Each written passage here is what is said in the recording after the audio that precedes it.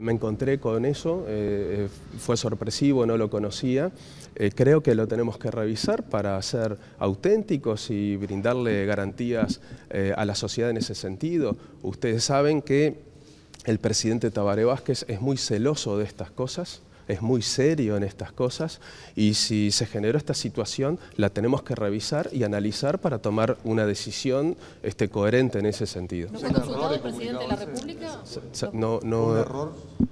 Bueno, yo no quiero calificarlo de esa manera hasta analizarlo bien con los responsables de esa área, pero si está generando esta sensibilidad lo analizaremos más a fondo y quizá con autocrítica y responsablemente, quizá tenemos que asumir que puede haber sido un error y rectificarlo. Eso es lo que nos corresponde como gestores permanentemente. ¿El presidente de la República fue consultado para hacer esa publicación en la página de presidencia?